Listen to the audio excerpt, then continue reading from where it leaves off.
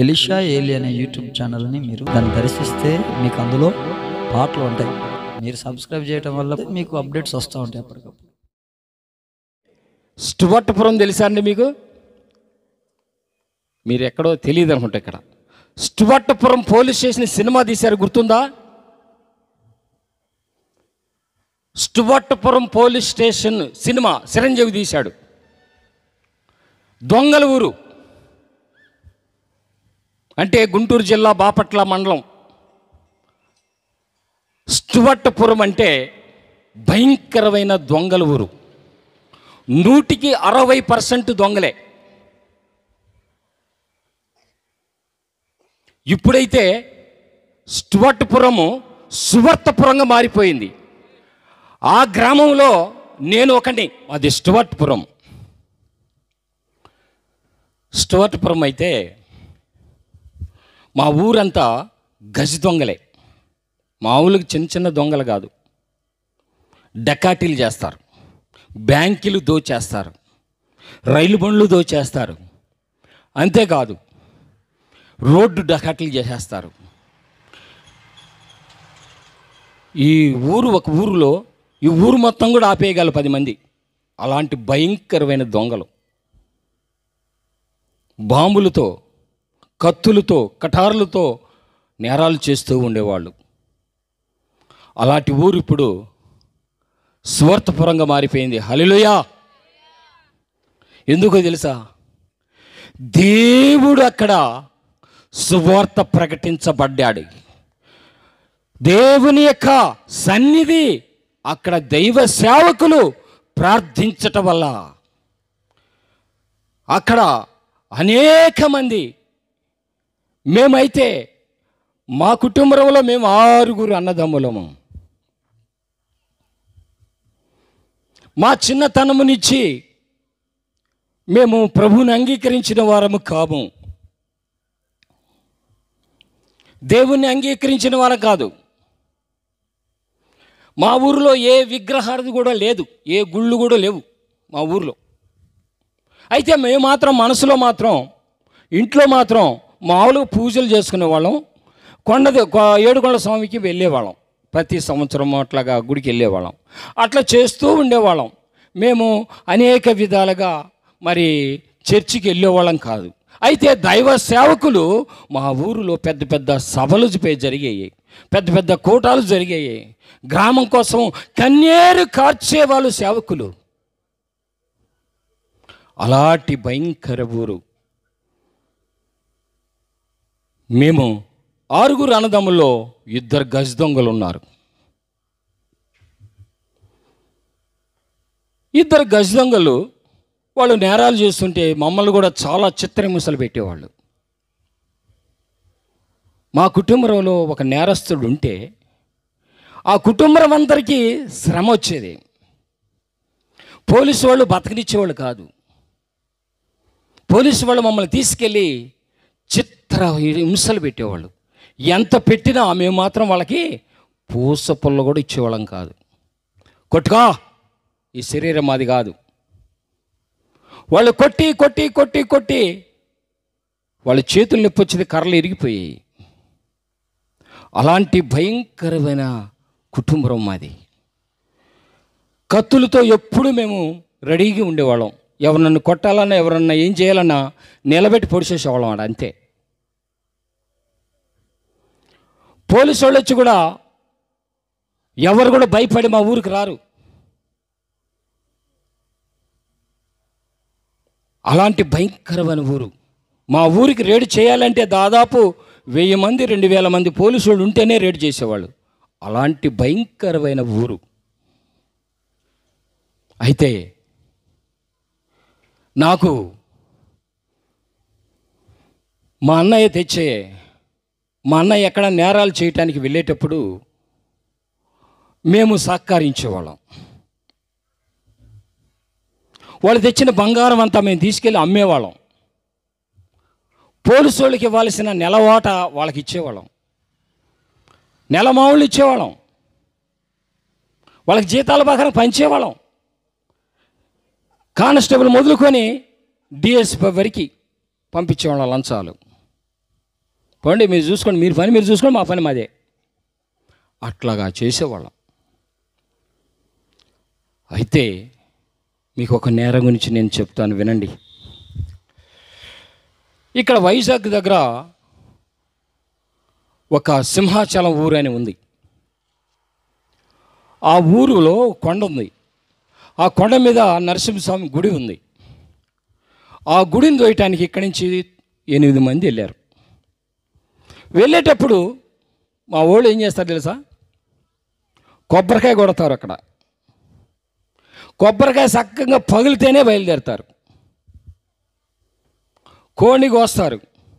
ఆ కోడి కోసిన తర్వాత ఎటైతే ఎగురుతో అటే వెళ్తారు కో- వీళ్ళు. అంటే సగినాలు చూస్తారనమాట బొట్టు పెట్టందు బయటికి వెళ్ళరు. ఇలా మా వాళ్ళు ఎనిమిది మంది వెళ్ళి బాంబులు కత్తులు అన్నీ తీసుకొని వెళ్ళిపోయారు. ఆ నరసింహస్వామి గుళ్ళో సుమారు రాత్రులు నిద్ర చేయడానికి వచ్చిన వాళ్ళు ఉన్నారు. పెళ్ళిళ్ళు చేసుకున్న వాళ్ళు ఉన్నారు. పూజారులు ఉన్నారు. గొరకబాళ్ళు ఉన్నారు. వీళ్ళందరూ ఉన్నారు. వీళ్ళందరూ ఉన్నప్పుడు ఈ ఎనిమిది మంది వెళ్ళి అక్కడ ఉన్న వాళ్ళందరినీ బంధించేసి ఒక రూములు వేసేసారు గొరక వాళ్ళు కూడా బంధించేశారు. ఖజానా రూములు పగలగొట్టేశారు.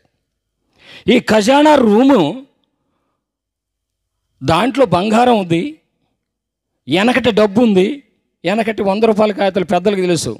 ఏం చూడాలి అవి కట్ల కట్ల బేర్చేసినాయంట చేసి ఉన్నాయంట లోపల. ఇవన్నీ అవి పనికిరావు కనుక బంగారం ఒకటే తీసుకొని బయటకు వచ్చారు. బయటకు వచ్చేటప్పటికి ఎవరో జారుకొని పోలీసు వాళ్ళకి ఇన్ఫర్మేషన్ ఇచ్చేశారు. ఆ కొండ నుంచి దిగుతున్నారు. వీళ్ళేం బాంబులు వేస్తున్నారు వాళ్ళేం తుపాకీలతో కాలుస్తున్నారు. ఇక అప్పుడు వాళ్ళు తప్పించుకొని వచ్చేసారు వచ్చేసిన తర్వాత ఈ కంగారు మీద వీళ్ళు ఏం చేశారంటే ఎటోళ్ళు అటు పడి వెళ్ళిపోయారు. హైదరాబాద్ చేరుకున్నారు కొంతమంది కొంతమంది ఎటోటో వెళ్ళిపోయారు. తెల్లారిపోయింది పోలీసు వాళ్ళు వచ్చారు మొత్తం కుక్కలు తీసుకొచ్చి మొత్తం పరిశోధించారు. పరిశోధించిన తర్వాత వాళ్ళకి ఆజుకి దొరకలేదు. ఇక కుక్క ఒక చోట వీళ్ళు ఏం చేశారంటే బట్టలు తీసి ఒక చోట పెట్టేసి వెళ్తారు వీళ్ళు. ఆ బట్టలు వీళ్ళకి పోలీసు వాళ్ళకి దొరికింది. దొరికిన తర్వాత ఆ పోలీసు వారు ఏం చేశారంటే ఆ ప్యాంటు షర్ట్ మీద ఆ చీరాల టైలర్ అని పేరుంది. ఆహా ఇది స్టువర్ట్పురం వాళ్ళు చేసి ఉంటారని డౌట్ వచ్చేసింది. వెంటనే అప్పుడు ఇందిరాగాంధీ పరిపాలన చేస్తుంది. డెబ్భై ఏళ్ళు అప్పుడు ఏం చేశారంటే ఆ ఎంత ఫోటోలు తీశారు. ఇక స్టువర్ట్ పురానికి ఈ ఫింగర్స్ అన్నీ ఫోటోలు తీశారు. అక్కడ అంటుకున్న పట్టుకుని ఉంటారు కదా ఈ ఫింగర్స్ అంతా హైదరాబాద్ పంపించారు. అక్కడ ఏమని వచ్చిందంటే స్టువర్ట్పురం గజ్జల ప్రసాద్ హస్తం అని వచ్చేసింది. ఈ వెంటనే స్టువర్ట్పురానికి వచ్చేసారు వచ్చి ఇక మమ్మల్ని రేడ్ చేయటం పట్టుకెళ్ళటం కొట్టటము వదిలిపెట్టడం ఈలోపు మా అన్నయ్యళ్ళు వచ్చేసారు ఆ బంగారం అంతా కొన్ని కేజీలు దాదాపు ఒక ఇరవై కేజీలు బంగారం. అప్పట్లో అప్పుడు ఎంత కేజీ సవర్ బంగారం? నూట యాభై రూపాయలు. అప్పుడు ఇక వెళ్ళిన సరే బంగారం మా హ్యాండ్ ఓవర్ చేసి ఆయన వెళ్ళిపోయారు. ఈ పోలీసు వాళ్ళు మమ్మల్ని తీసుకెళ్ళి రోజు చేప దూనట్టు దూముతూనే ఉంటారు మాకు తెలియదు అంటున్నాము. మమ్మల్ని వదిలేస్తున్నారు. ఈ బంగారం అంతా అమ్ముతున్నాము. కడ్డీలు చేస్తున్నాము పొలాలు కొంటున్నాము ఆస్తులు కొంటున్నాం.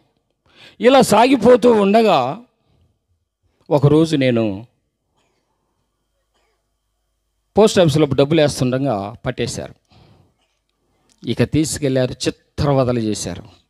ఎంత కొట్టినా కరెంటు పెట్టినా ఈ అరకాళ్ళుని ఈ కాళ్ళు ఏలదీసేసి రెండు కాళ్ళని వేలదీసి వాటిని ఎలా ఏలదీస్తారో అలా వేలదీసి కొట్టినా మేము ఒప్పుకోవట్లేదు. కొట్టి కొట్టి వాళ్ళు ఇసుగు పుట్టిపోయింది. మా ఊరిలో ఒక మనిషి ఉన్నాడు. బ్రాహ్ములతను అతను. అతను ఏం చేస్తాడు తెలుసా? దొంగలను పట్టిస్తూ ఉంటాడు ఇంపార్మెంట్గా ఉంటాడు పోలీసు వాళ్ళకి. మళ్ళీ ఆ పోలీసు వాళ్ళు ఆ దొంగను పట్టిస్తాడు ఆ దొంగని ఇడిపించడానికి పో- దొంగలకి ఇంపార్మెంట్గా ఉంటాడు. ఇటు పట్టిస్తాడు డబ్బులు తీసుకుంటాడు. మళ్ళీ ఇడిపిస్తాడు డబ్బులు తీసుకుంటాడు. అలా చేస్తున్న ఆయన ఏం చేశాడంటే వాళ్ళ దగ్గర బంగారం వసూలు చేయాలంటే నీ చెప్పినట్టుగా ఇంటేనే మీకు బంగారం అసలు వద్దు లేకపోతే లేదని ఆ డిఎస్పి గారితో మాట్లాడారు. మాట్లాడిన తర్వాత ఎట్లా చేయమంటావు ఏంటంటే వాళ్ళ మీద కేసులు పెట్టకూడదు వాళ్ళని కొట్టకూడదు. నీ చెప్పినట్టుగా చేస్తే మీకు ఆ బంగారం అంతా రికవర్ చేపిస్తా ఉన్నారు. ఓకే అన్న. ఆ బంగారం ఎలాంటిది? దాంట్లో పచ్చలహారం ఉన్నది. దాని దాని ఖరీదు కొన్ని కోట్ల ఖరీదు. పచ్చలహారం అంటే అంత అడల్పు ఉంటుంది రాయి అంత మందాని ఉంటుంది. అది ఏం చేశారంటే వీళ్ళు ముక్కలు ముక్కలు చేసేసారు. ఆ ముక్కలు ఆడ పడేశారు. ఎప్పుడైతే ఆ పేపర్లు వేసారో పచ్చలహారం దోపిడని ఆ ముక్కలు మళ్ళీ తెచ్చుకొని జాగ్రత్త చేసుకున్నారు. అయితే పోలీసు వారికి మమ్మల్ని తీసుకెళ్ళారు. ఆ బంగారం మేము అమ్ముకున్నాం రికవరీ చేయించేసాం ఆ డైమండ్స్ అమ్మలేకపోయాం. ఆ డైమండ్స్ ఇచ్చేసాం వాళ్ళకి. ఆ ఇచ్చేసిన తర్వాత ఆ డైమండ్ పరిశీలన చేశారు. హైదరాబాద్ నుంచి లేదా ఢిల్లీ నుంచి పిలిపించారు దాన్ని ఎంత ఖరీదు ఉంటుంది ఎలా ఉంటుంది ఏంటని. చూస్తే దాదాపు వంద కోట్లు ఖరీదు గల ఆ పథకం అది. అయితే ఆ పథకము డూప్లికేట్ పథకం. ఒరిజినల్ పథకం ఎప్పుడో పూజర్లు కొట్టేశారంట. అప్పట్లో పూజర్లు కొట్టేసి డూప్లికేట్ పథకం పెట్టారంట. ఆ పథకమే వంద కోట్లు అంట ఈ పథకం ఎలా వచ్చింది? ఐదు వందల సంవత్సరాల క్రితం శ్రీకృష్ణ దేవరాయలు యుద్ధంలో గెలిచినప్పుడు ఆ నరసింహస్వామికి బహుమతిగా ఇచ్చారంట. ఎప్పుడు? ఐదు వందల సంవత్సరాల క్రితం. అది మా వాళ్ళు అపహరించారు. ఆ గుట్టంతా బయటపడింది. పూజారులు కూడా అప్పుడు ఎతికినా ఎవరు దొరుకుతారు? ఏ పూజారి చేశాడో?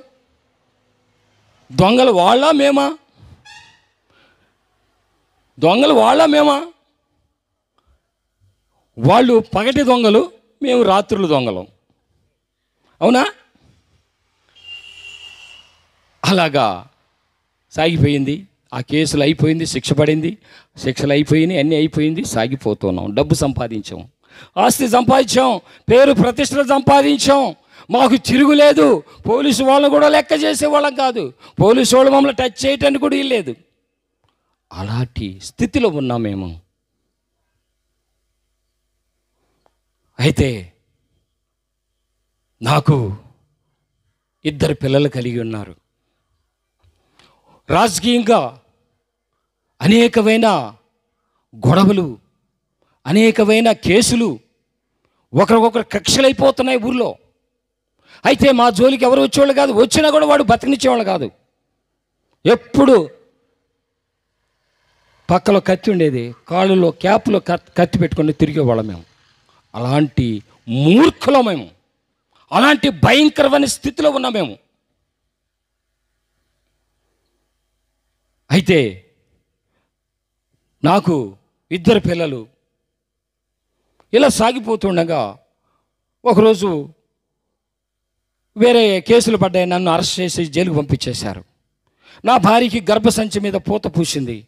నా భార్యకి హాస్పిటల్ తీసుకెళ్ళి ఆపరేషన్ చేయాలి డాక్టరు? ఒక నెల రోజులు మందులు అని దాత చేస్తా అన్నారు ఆ చేయొచ్చులే అనుకున్నాను మందులు ఇప్పిస్తున్నాను. ఈ లోపు నా మీద కేసులు రెండు మూడు కేసులు పెట్టేసి నన్ను ఇరికిచ్చేసి జైలుకు పంపించేశారు. వెళ్ళిపోయిన తర్వాత మూడు నెలల వరకు నేను బయటికి రాలేదు. నా భార్యకి ఆపరేషన్ ఆగిపోయింది. ఇక బెయిల్ తీసుకొని బయటకు వచ్చాను. నా భార్య ఏడుస్తుంది. అయ్యా నేను చచ్చిపోతాను బ్రతకను. నా బిడ్డలు జాగ్రత్త అని చెప్పింది. నేను అన్నాను పిచ్చిదానా ఎందుకు భయపడతావు? కొండ మీద కోతినేని తీసుకొస్తాను భయపడద్దు. ఎంత డబ్బైనా ఖర్చు పెట్టి నేను రక్షించుకుంటాను భయపడద్దు అని నా భార్యకి ధైర్యం చెప్పి ఆ రాత్రి ఇంటికి వెళ్ళాము. ఇంటికి వెళ్తే ఆ రాత్రి మంచి మంచి భోజనం వండి పెట్టింది తిన్నాను. ఆ రాత్రే నా భార్య రక్తం కక్కటం మొదలుపెట్టింది. ఎప్పుడైతే నా భార్య రక్తం కక్కిందో తెల్లారి తెల్లారుజామునే ఆ గుంటూరు హాస్పిటల్కి తీసుకెళ్ళిపోయాము. తీసుకెళ్ళిపోయిన తర్వాత మధ్యాహ్న కల్లా నా భార్య చనిపోయింది. నేను అనుకున్నాను నా భార్యని రక్షిస్తాను. నాకు డబ్బు ఉంది ఆస్తుంది ఎంత డబ్బైనా ఖర్చు పెట్టి నా భార్యని రక్షించుకుంటాను నా భార్యని ధైర్యము చెప్పాను. కానీ నా వల్ల కాలేదు. దానం అయిపోయింది. ఇక నేను నా బిడ్డలు పట్టుకొని ఏడుస్తూ ఉన్నాను దుఃఖిస్తూ ఉన్నాను. వివాహం చేసుకోమన్నారు నేను చేసుకోవాలి. అప్పటికి మూడు నాలుగు సంవత్సరాలు ఆగిపోయి నాకు వద్దని వివాహం. ఇక ఒక అమ్మాయిని పెళ్ళి చేసుకున్నాను. సాగిపోతున్నాం. ఈమెకి ఇద్దరు పిల్లలు పుట్టారు. అయితే ఇలా సాగిపోతూ ఉండగా దైవ సేవకులు నా దగ్గరికి వచ్చారు. నా భార్య పోయి దైవ సేవకులు చెప్పు నా భర్తను మార్చండి. నా భర్తకు వాక్యం చెప్పండి. నా భర్త కొరకు ప్రార్థించండి. అని చెప్పుకున్న తర్వాత దైవ సేవకులు నా దగ్గరికి వచ్చి దేవుని వాక్యం వినిపించారు. దేవుని మాటలు వినిపించారు. దేవుని గురించి చెప్పారు. నేనన్నాను ఏమయ్యా నా వయసు ఏమైపోయిందని అప్పుడే పిలుస్తున్నావు నేను ఇంకా సంపాదించాలి ఆస్తి? ఇంకా అనేక వాటిని నేను జయించాలి. అనేకమైన నేను ఎన్నో రకాలుగా అనుభవించాలి. ఇప్పుడే నన్ను ఎందుకు పిలుస్తారు? ఆ సమయం వచ్చినప్పుడు ఆ ముసలోడైపోయినప్పుడు వస్తాను అప్పుడు దాకా నేను రాను అని అపహాస అపహాసం చేశాను. వాళ్ళు నవ్వుకుంటూ వెళ్ళిపోయారు. ఇలా వెళ్ళిపోయిన తర్వాత మళ్ళా ఒక రోజు నన్ను ఒక పోలీస్ డిపార్ట్మెంటు బంగారం కోసం నన్ను చిత్రహింసలు పెట్టారు తీసుకెళ్ళిపోయి. మూడు గంటల చెప్పు నన్ను బంతాట ఆడుకున్నారు. రాత్రి ఆరు గంటలకి తీసుకెళ్ళిన వాళ్ళు తొమ్మిదింటి వరకు చిత్రహింసలు పెట్టారు అంతే. రెండు కాళ్ళు కట్టేశారు యాలు తీసేశారు. అటు ఇద్దరు ఇటు ఇద్దరు పట్టుకున్నారు. పట్టుకున్న తర్వాత కొడుతూ ఉన్నారు ఉమ్మి ఊస్తూ ఉన్నారు. రివల్వర్ పెట్టారు కాల్ చేస్తాను ఒప్పుకో అని. నాకు తెలియదు కొట్టుకా. ఎంత అయినా కొట్టుకో అని చెప్తూనే ఉన్నా. కొట్టి కొట్టి కొట్టి నన్ను పడేశారు పక్కన. అలా పడేసిన తర్వాత రాత్రి ఒంటి గంట సమయంలో కళ్ళు గంతలు కట్టేశారు. వ్యాన్లో వేసుకున్నారు. సముద్ర ఒడ్డుకి తీసుకెళ్ళిపోయారు. సముద్ర ఒడ్డుకి తీసుకెళ్ళిపోయి అక్కడ ఒక పడవలో కూర్చోపెట్టారు ఒక తాడు గోతము రాయి తెప్పించారు. ఈ ఎస్ఐఎఫ్ పోలీసు వారు మందు తాగటం మొదలుపెట్టారు. ఆ ప్రాంతంలో ఎవరు కూడా ఒక్కరు కూడా కనపడలా. పడవలు ఉన్నాయి. ఆడ గోచపెట్టి అరే ఇదే లాస్ట్ ఫైనల్ నీకు. ఒప్పుకో. మాకు టేబుల్ మీదకి వచ్చేయాలి బంగారం. లేకపోతే ఒకవేళ చచ్చిపోతే ఈ సముద్రంలో వేస్తాను రాయి గట్టి గోతలు గట్టి రా లోపల వేసేస్తాను కొట్టుకో అని చెప్పాను. కొడుతూ ఉన్నారు. కేకలేస్తున్నాను. ఎవరు అక్కడ వినిపించేవాళ్ళు ఎవరు లేరు. ఎవరు కాపాడేవాళ్ళు ఎవరు లేరు. కేకలేస్తున్నాను. కొట్టి కొట్టి వాళ్ళు తాగిన నిష వాళ్ళకి తగ్గిపోయింది. వాళ్ళు అంటున్నారు ఇట్లా కాదు సార్ ఈడు భార్యని తీసుకుని చిత్రహింసలు పెడితే అప్పుడు వీడు ఒప్పుకుంటారు సార్.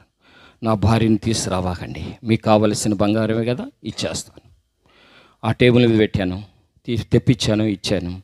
ఇచ్చిన తర్వాత వాళ్ళు వచ్చారు అబ్బాయి రేపు పొద్దున్నే తీసుకెళ్ళిపోతాం అన్నారు. ఇక అయిపోయింది నా పని. ఇక రక్తమడుగులో శరీరం అంతా గుల్లైపోయింది. కాళ్ళు ఏళ్ళన్నీ పగిలిపోయినాయి. ఇక ఏం చేయాలో అర్థం కాలేదు. ఏం చేయాలో కేకలు వేస్తున్నా. ఆ లాకప్లో ఆ రాత్రి ఒంటి గంట సమయంలో నేను ఆరాధించిన దేవతలను పిలిచాను. నేను ప్రతి సంవత్సరము ఎవరికి నేను పూజలు చేసి నా తల వెంట్రుకలు ఇస్తున్నానో వాళ్ళని పిలిచాను. ఓ దేవతలారా ఇంతకాలం మిమ్మల్ని ఆరాధించాను కదా ఇంతకాలం మిమ్మల్ని అనుసరించాను కదా ఎందుకు ఈ కష్టము నాకు? ఎందుకు ఈ ఈ హింస? నేనెందుకు పడాలి? నిజంగా మీరు ఉంటే నాతో మాట్లాడండి. ఈ కష్టాన్నించి తొలగించండి. నీ కేకలు వేసి ఏడ్చి ఏడ్చి ఏడ్చి అలిచిపోయా. ఎవరు కూడా నాకు సమాధానము ఇవ్వలేదు. ఎవరు నన్ను దర్శించలేదు. ఎవరు కూడా నాతో మాట్లాడలేదు. ఆ సమయంలో ఆ గోడ మీద యేసుక్రీస్తు ప్రభు ప్రత్యక్షమైపోయాడు. సిలుబుతో సిలుబులో వేలాడుతూ ఆ రక్తము కారుతూ ఆ సిలువ పెట్టుకొని ఆ ఎలుగుతో ప్రత్యక్షమైపోయాడంతే. ఎప్పుడైతే ఆ ఎలుకలో ప్రత్యక్షమైపోయాడో ఆ వెలుగు నా మీద ప్రవేశించింది. వెంటనే ప్రభువా నన్ను క్షమించయ్యా. నన్ను క్షమించు ప్రభువా. అని కేకలు వేసి వేడ్చానంతే. మాయమైపోయాడు. తెల్లారిపల్లి తెల్లారిపోయింది. అప్పుడు నేను ప్రభా నా భార్య వచ్చింది. మాయ్ రాత్రి యేసు ప్రభు కనిపించాడు నాకు. నేను ఈ క్షణం నుంచే దేవుని నమ్ముకుంటా.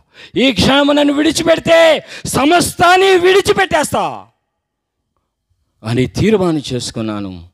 ఎస్ఐ వచ్చాడు చిన్న కేసు పెట్టి నన్ను రిలీజ్ చేసేసాడు హలిలుయా ఇక దేవుని మార్గంలో నడుస్తూ ఉన్నాను.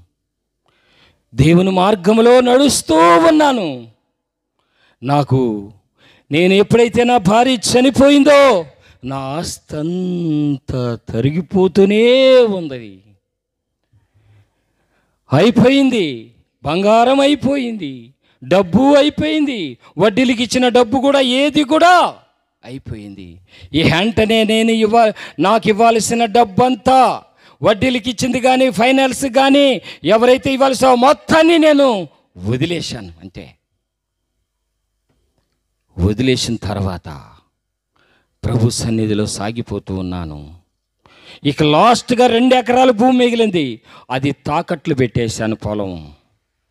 అది తాకట్లు పెట్టేసిన తర్వాత నేను సాగిపోతుంటే దేవుల్లో ఉన్నాను గనక దేవుల్లో సాగిపోతూ ఉండగా మా మామగారు వచ్చి నా కుమార్తె పొలం నువ్వెవడరా అమ్మటానికి నా మనవాళ్ళు కావాలి అని చెప్పి నా మనవడి పేరు మీద రాయించాం. తాకట్లు పెట్టేస్తున్నాం. ఈలోపు ఆ పొలము తాకట్లు పెట్టుకున్నాడు కోర్టులో వేశాడు. కోర్టులో వేసిన తర్వాత మేము వేసాం కోర్టుకి వెళ్ళాం. ఇక ఈ భూమి ఎలాంటిది? సాల్విషారి భూమి. ఈ ఎర్ర లేబుల్ ఉంటుంది చూసిన మేనేజర్ వాళ్ళు కోర్ ఆఫీసర్లు వాళ్ళు సాల్విషనారు వాళ్ళు ఇచ్చిన భూమి అది. అయితే వాళ్ళ దగ్గరికి పోయి నేను అడిగాను పాస్టర్ గారిని. అంటే హెడ్ హెడ్ అంటే ఆ సంస్థ మొత్తం మీద హెడ్ పా- హెడ్ ఆయన ఒక ఆయన ఉంటాడు పెద్ద పాస్టర్. ఆయన అడిగి అయ్యా ఈ భూమి నా భార్య పేరు మీద ఉంటే నా మొహం నా కుమారు పేరు రాశాము. అది నా కుమారు పేరు మీద ఉంది. నేను తాకట్లు పెట్టాను. వాళ్ళకి డబ్బులు ఇచ్చేస్తాను. వారు కోర్టులో వేశారు. మీరు ఆ పొలం ఎవరి పేరు మీద ఉందో కోర్టులో వచ్చి సాక్ష్యం చెప్పండి అన్న. ఈ భూమి అమ్మటానికి లేదు కొనటానికి వాళ్ళ అధికారం లేదు. నేను కోర్టులో వచ్చి చెప్తాను పో అన్నాడు. ఓకే అనుకున్నా.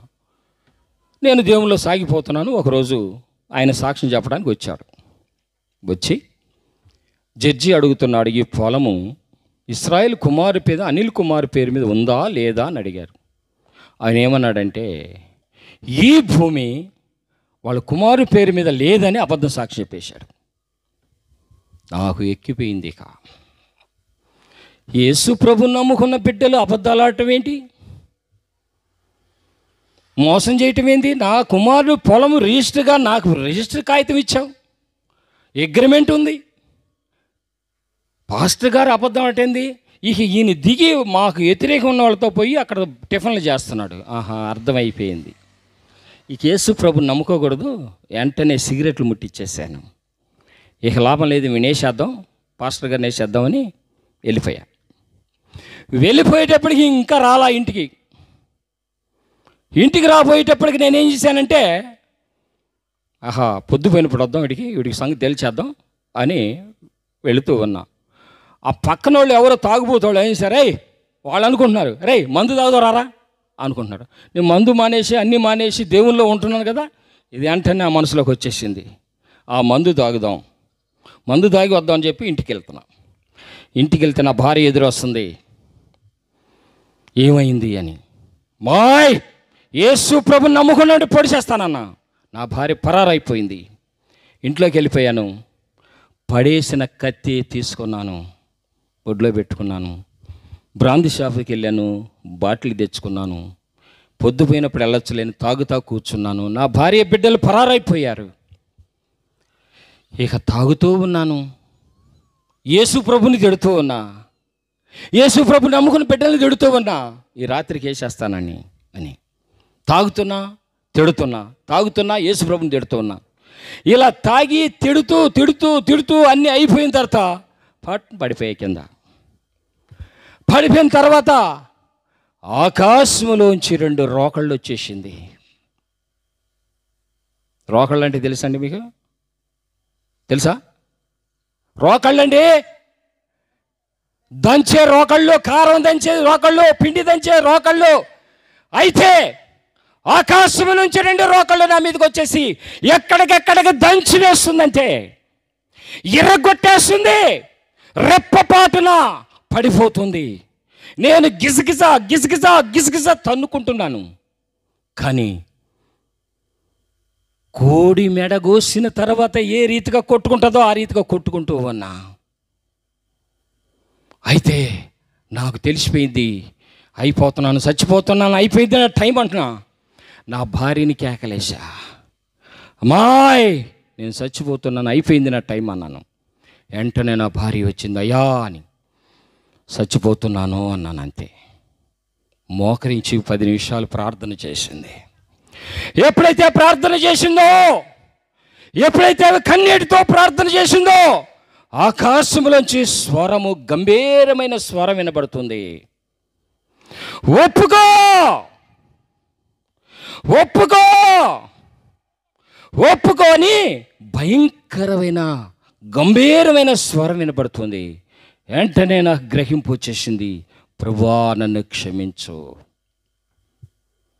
ఎప్పుడైతే మూడు సార్లు క్షమించు ప్రభా నిన్ను తిట్టాను నీ బిడ్డలు తిట్టాను ఇక నేను తిట్టను ప్రభా నన్ను క్షమించు ప్రభా అని ఎప్పుడైతే నన్ను ఆ ఆగిపోయినాయి. తెల్లారిపోయింది. తెల్లారి లేస్తే లెగవట్లేదు ఎటేసిన కాలటే అటే ఎటేసిన చెయ్యి దెబ్బలేమో పై కనబడట్లేదు.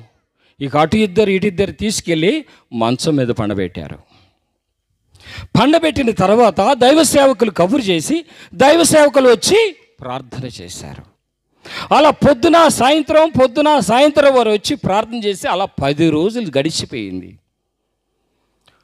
మా ఆత్మీయ తల్లిగారు మంచి అనుభవం కలిగిన వ్యక్తి.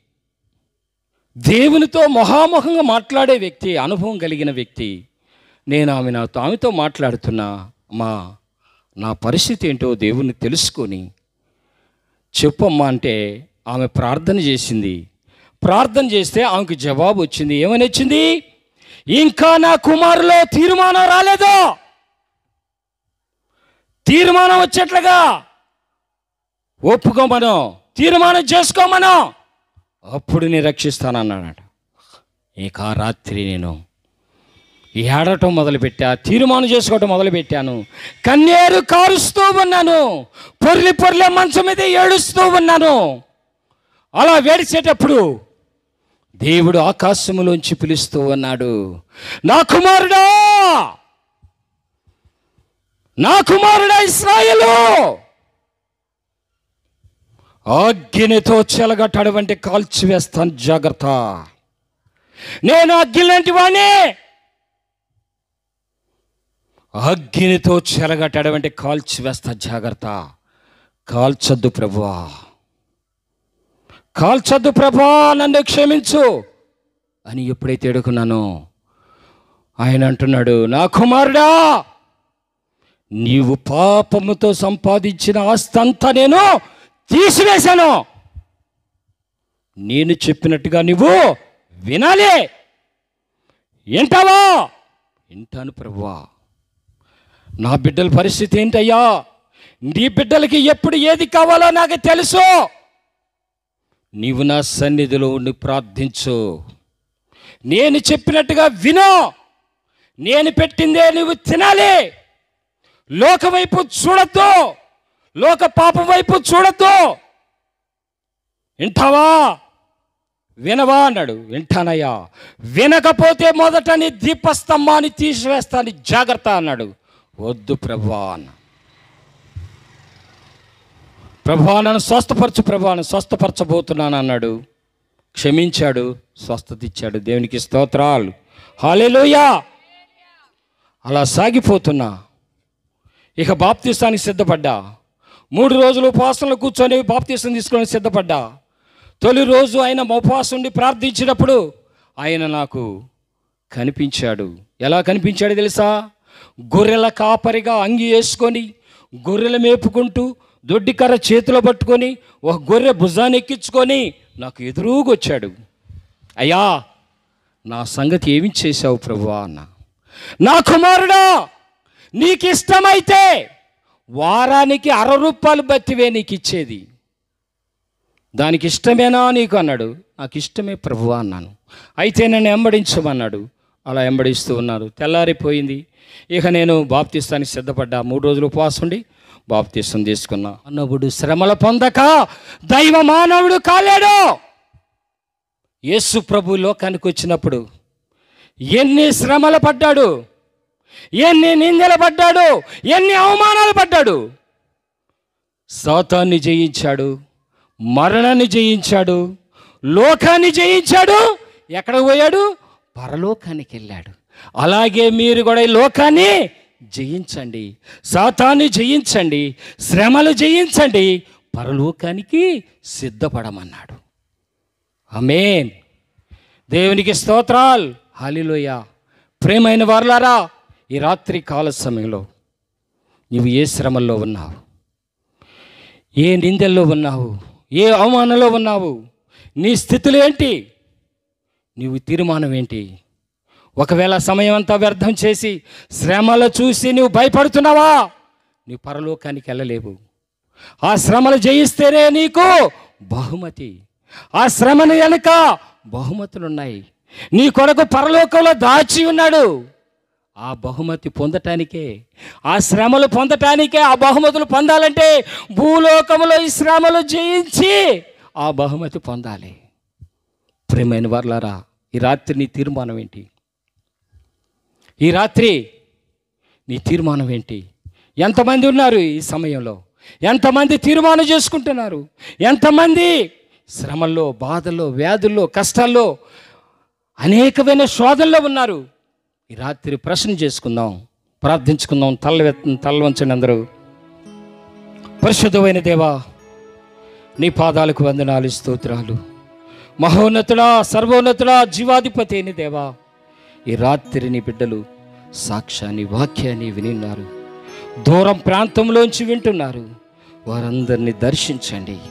ఈ రాత్రి కాలశ్యములో బిడ్డల్ని ప్రభా ఒక తీర్మానకు వచ్చినారు నీ సన్నిధిలో ప్రార్థించేవారుగా సాతాను జయించుటకు శ్రమలు జయించుటకు నన్ను ఏ రీతిగా నిలబెట్టావో ఆ రీతిగా నీ బిడ్డలు నిలబెట్టి నీ కృపతో జ్ఞాపం చేసి సహాయం ఇచ్చేయండి. ఇదిగో దిన సేవకుడిని మీరు జ్ఞాపం చేసుకో. వారి పరిచయను మీరు జ్ఞాపం చేసుకో.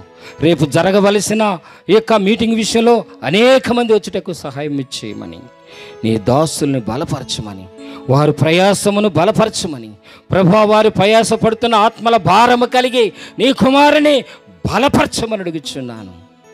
నశించిపోతున్న ఆత్మలను ప్రభా వెతికి నీ మార్గానికి నడిపించుటకు వారికి సహాయం చేయమని నీ కాపుదల దయచేయమని మా ప్రభు అయిన యేసు క్రీస్తు నామను అడుగుచున్నాం తండ్రి. ఆమె ఆమె